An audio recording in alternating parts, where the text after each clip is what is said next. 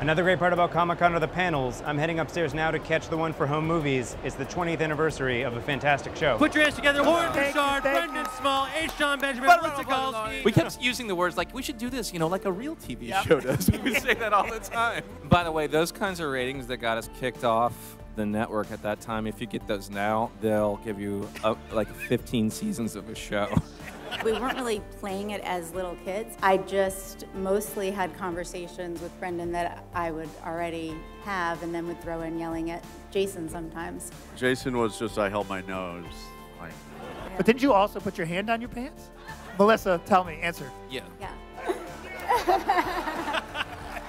I'm thrilled to be sitting here with Brendon Small. The panel was terrific, and I appreciate you taking the time to be here with me. If you're a creative person for a living, and this is where Shout Factory comes into, it's my job to be inspired.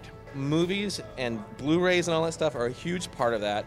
And even listening to commentaries and all that stuff is there's no reason I shouldn't be inspired. There's enough inspiration out there. Thank you so much. It was Absolutely. great talking Thank to you. Thanks, guys.